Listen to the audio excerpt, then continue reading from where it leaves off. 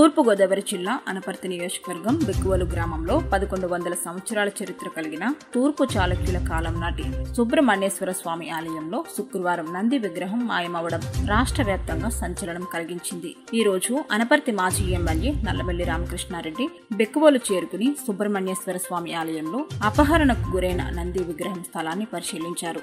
ఈ సందర్భంగా ఆలయంలో అర్చకులు రామకృష్ణారెడ్డికి ప్రత్యేక పూజలు నిర్వహించారు.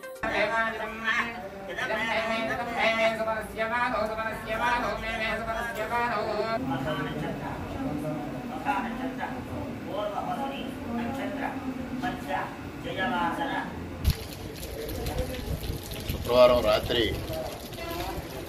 అతి ప్రాచీనమైన అతి పురాతనమైన దేవాలయం మెక్కువల్లో గోలింగేశ్వర స్వామి దేవస్థానంలో అంటే కుమార సుబ్రహ్మణ్యేశ్వర స్వామి ఆలయంగా ప్రసిద్ధి చెందిన గోలింగేశ్వర స్వామి దేవస్థానం. ఇది దాదాపుగా తూర్పు చాళుక్యులు పరిపాలనా కాలంలో అంటే దాదాపుగా పదకొండు వందల సంవత్సరాల క్రితం నిర్మాణం అయిన దేవాలయంగా చెప్తారు. ఆ రోజుల్లో ఈ చుట్టుపక్కల దాదాపు అనేక దేవాలయాలు ఉండడం తరువాత ఇదంతా నివాసిత ప్రాంతంగా మారుతున్న సందర్భంలో ఇల్లు కట్టుకోవడానికి చుట్టుపక్కల తవ్వకాలు జరిపినప్పుడు శివలింగాలు నంది విగ్రహాలు లభ్యం కావడం వాటిని తీసుకొచ్చి ఈ గుళ్ళో చుట్టూ ప్రతిష్ఠించడం జరిగిందనేది మనకి చారిత్రక సత్యం.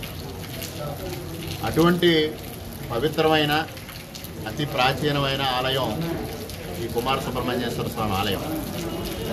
ఇక్కడ భక్తులకి ఎంత నమ్మకం అంటే ఎవరైనా సంతానం కలగని స్త్రీలుంటే ప్రతి సోమవారం రాత్రి ఇక్కడ ఎర్రచీర ధరించి ఈ ఆలయంలో నిద్రించి మంగళవారం సుబ్రహ్మణ్యేశ్వర స్వామి గారికి అభిషేకం పూజాధికారులు నిర్వహించినట్టయితే తప్పనిసరిగా సంతానం కలుగుతుంది అనేది ఒక నమ్మకం. అంత నమ్మకం.